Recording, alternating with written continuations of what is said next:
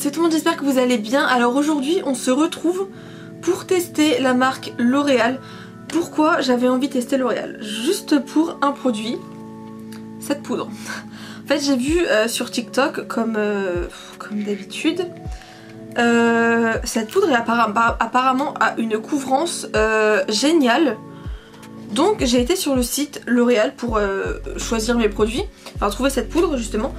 Et euh, il y avait des petites promos machin donc, donc ça valait plutôt le coup. Donc euh, on va tester quelques produits aujourd'hui ensemble. Voilà. Voilà donc on va euh, commencer tout de suite. J'ai pas tout pour une routine entière.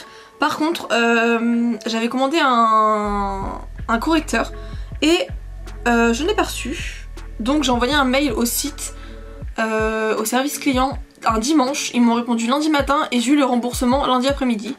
Donc euh, service client vraiment au top, ça a été super rapide. J'ai rien à dire sur ça donc euh, voilà. Mais du coup j'ai pas de correcteur et je vais... Du coup j'ai décidé que j'allais seulement utiliser, il y avait beaucoup de du coup euh, dans une même phrase, bref. Mais du coup, non. Mais je vais donc tester la poudre, le fond de teint poudre plutôt, euh, infaillible de chez L'Oréal qui est censé durer 12 heures. Et qui est du coup un fond de poudre qui est apparemment super couvrant. Donc il y a un miroir et euh, une petite éponge qu'on va utiliser. Euh, alors là j'ai une interrogation, c'est-à-dire que soit je commence avec la poudre, soit je commence avec ça pour faire des taches de rousseur. C'est Marine Caméléon qui a fait ça. je pense que je vais commencer avec le spray pour essayer de faire des taches de rousseur. Et euh, si au cas où ça le fait pas assez et que j'en veux plus, je remettrai après la poudre.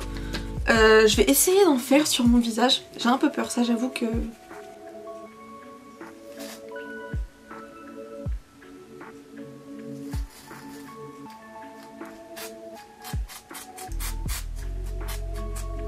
Bah ma foi ça fonctionne très très bien. Euh, j'en ai peut-être fait un petit peu beaucoup pour le coup là mais... Euh, ok, bah ça fonctionne vraiment très très bien. J'en ai même sur, euh, sur mon t-shirt blanc. Voilà, j'ai même une tache de rousseur sur mon t-shirt blanc du coup.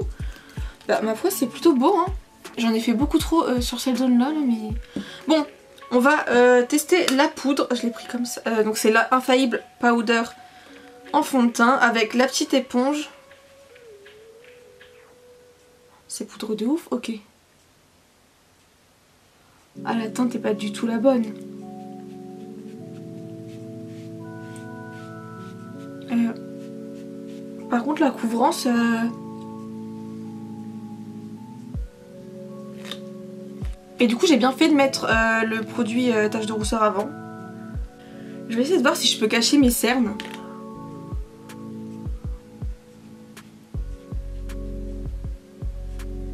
Je suis vraiment pas fan de l'applicateur, enfin de la petite éponge là, mais, mais ça fonctionne très bien. Et ça m'a un peu estompé les taches de rousseur, donc ça c'est vraiment pas mal. En fait niveau couleur ça va. si je la mets euh, mal, je suis un peu orange à certains endroits, mais c'est quand même mieux en tapotant je trouve qu'en étalant. Ok. Bon on va dire que ça va. Pour la poudre, je pense qu'on n'est pas trop mal honnêtement. Je suis vraiment étonnée de, du rendu euh, du rendu quoi. Donc pour continuer avec le teint, je viens prendre euh, ce blush là qui est un blush euh, pêche de la, de la gamme Blush of Paradise, n'est-ce pas? Il est, il est très très beau, il est une très belle couleur. J'ai pas pris de pinceau pour le blush, tant pis je vais prendre un gros pinceau comme ça, j'ai que ça sous la main. Hum Il sent bon sais pas ce qu'ils sont mais ils sont vachement bons. J'ai même pas, j'ai pas de bronzer sur moi mais j'aurais pu en prendre d'ailleurs.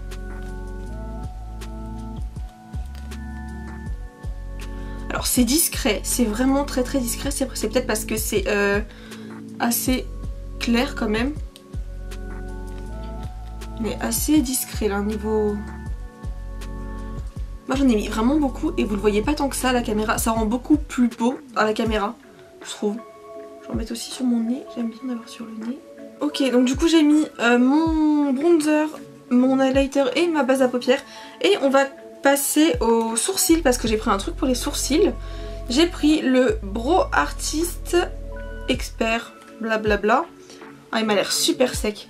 Donc la couleur va être plutôt bien je pense. Par contre, je sais pas si vous verrez mais l'embout est euh, super épais. J'aime pas trop les embouts comme ça. Euh, mes sourcils ils sont toujours pas épilés. Il faudrait vraiment que je les épile un jour. Mais on va le tester quand même. Même si je pars avec un mauvais point parce que je déteste maquiller les sourcils qui sont pas épilés. Sais pas pourquoi je j'aime pas. Bref, on va le tester quand même. On va essayer surtout.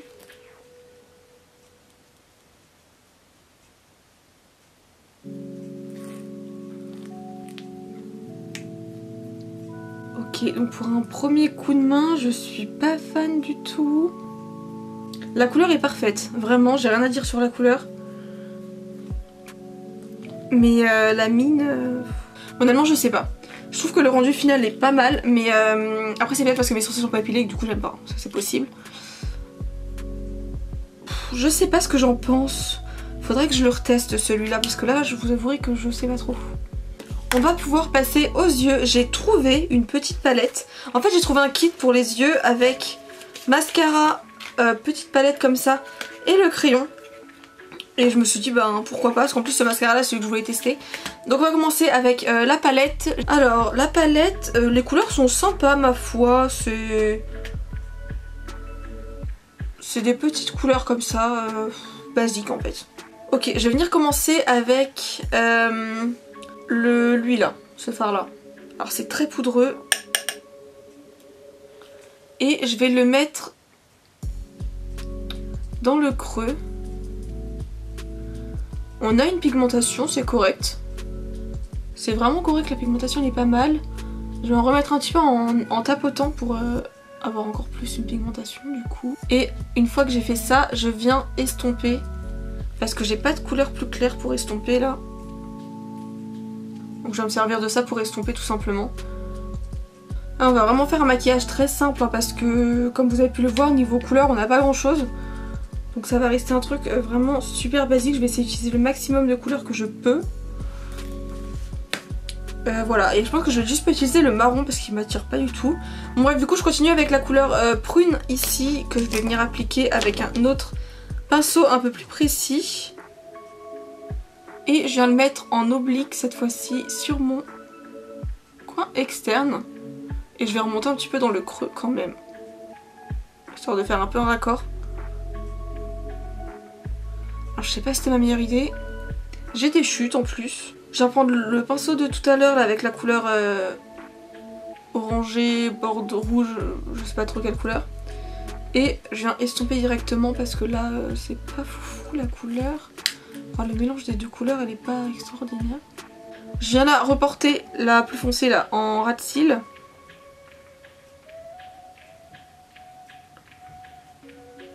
Je viens dégrader aussi sans remettre de matière sur ce pinceau là euh, mon rat cils pour pas que ça fasse juste une bande violette alors que l'autre en haut j'ai du orange. Bah, la pigmentation est vraiment pas mal des fois, elle est... c'est sympa.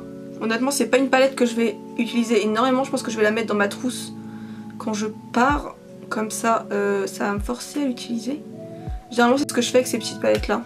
Par contre je pense que ça se voit, euh, le fard violet les bordeaux là il s'estompe euh, énormément hein, quand on l'estompe justement.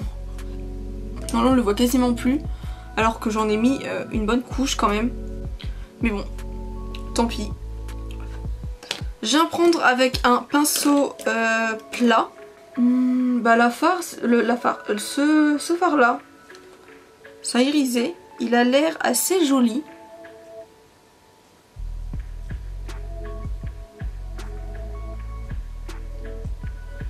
se prélève bien au pinceau. Il fait beaucoup de chutes. Tout ce qu'on aime. Je vais tenter de remettre encore du fard violet parce que j'aimerais bien foncer mon, mon coin externe en fait.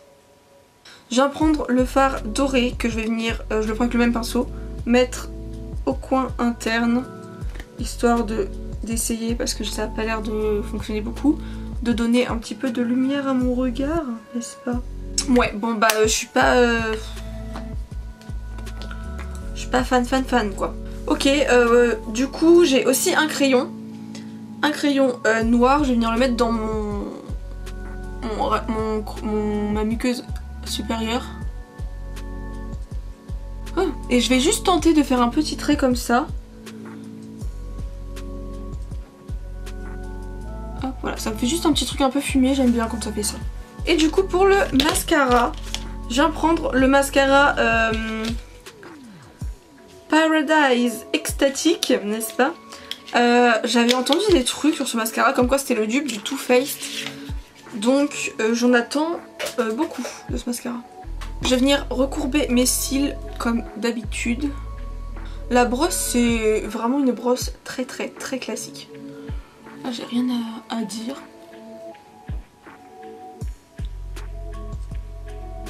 Alors, euh... Non, en vrai, il est beau. Je vais pas mentir. Il est beau. C'est un beau mascara, il a un beau rendu. Hmm.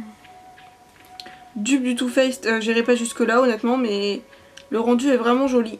En plus j'ai un maquillage qui est pas hyper chargé donc on voit mes cils, c'est déjà bien.